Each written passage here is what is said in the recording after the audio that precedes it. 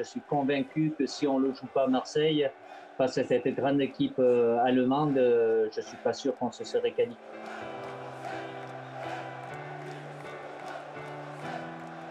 Le stade est plein comme ça et ça a été, l'ambiance était fabuleuse.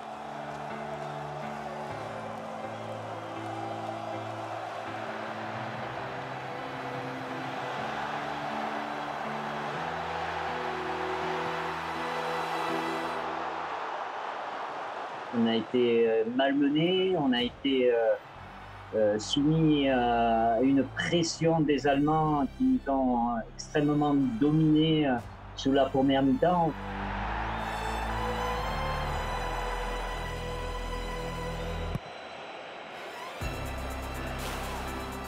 On était à la limite de craquer, on n'a pas craqué, on a le bonheur de, de, rentrer à, à la mi-temps en menant au score. Mais euh, cet environnement-là a été euh, très très important pour, euh, pour les joueurs, pour le conditionnement psychologique avec ce, support. On parle toujours, c'est un peu une étiquette de 13e homme à travers les matchs, mais là vraiment le public à Marseille a été, a été fabuleux pour nous.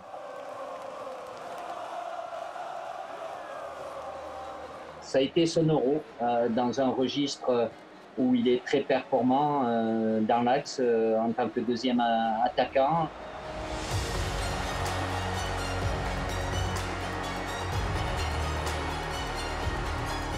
Est extrêmement décisif et c'était le leader technique de, de cette équipe.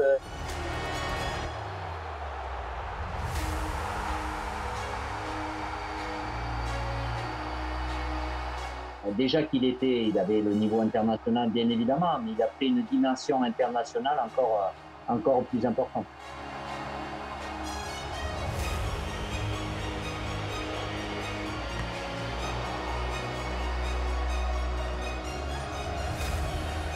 Voilà, les, les grands gardiens, on en a besoin dans les grands matchs. Et là, il a été décisif euh, pour nous. Euh, évidemment, c'est pas lui qui peut nous faire gagner le match, mais il a retardé euh, l'échéance et on n'a pas pris de but, ce qui nous a permis de gagner en, sérénité.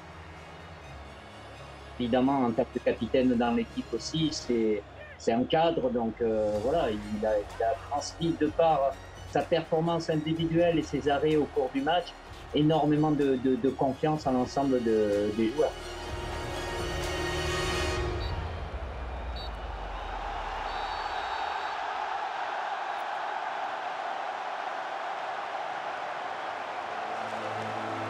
Ça fait partie des très très bons souvenirs. Et puis après, euh, de pouvoir communier avec le, public.